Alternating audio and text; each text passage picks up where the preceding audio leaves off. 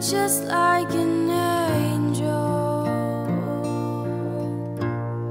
You scared.